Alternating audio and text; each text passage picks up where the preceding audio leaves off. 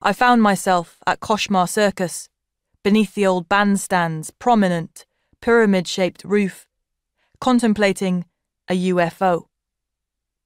When I say UFO, I don't mean spaceship. I mean it in the literal sense unidentified flying object. Circa half a metre tall, it hovered directly in my eyeline. It radiated neon beige. What a concept. I just stood there, one hand on my head, the other on my hip, considering the likelihood. Was still thinking on it, still processing, when I noticed someone or something moving behind me. I turned around and saw it was Bambi. When I say Bambi, I mean Bambi. But not as we know him. On top of his famously unsteady legs, he had four spider's legs. Grand total was eight. Besides, he had multiple sets of eyes, like that Sarah filtered kitty on Instagram, or most common spiders, pavuk in one Euro language.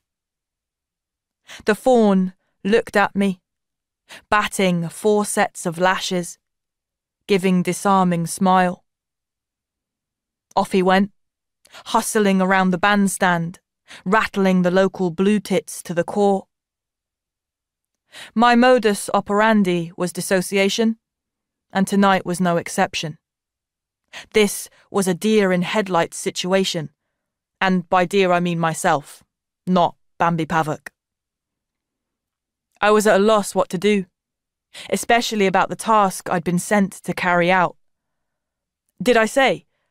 I'd won a mad prize, likely by mistake. The award for the fictionalization of social evils goes to. Chair of the judging committee, saying my name.